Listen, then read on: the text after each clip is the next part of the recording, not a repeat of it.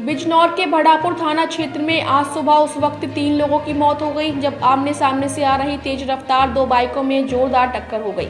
इस दौरान हादसे में एक बाइक पर सवार पिता पुत्र समेत दूसरी बाइक पर सवार एक व्यक्ति की मौत हो गई, जहाँ सूचना पर पहुँची पुलिस ने घायल को अस्पताल भिजवाया। साथ ही तीनों मृतकों के शवों को पोस्टमार्टम के लिए भेज दिया है।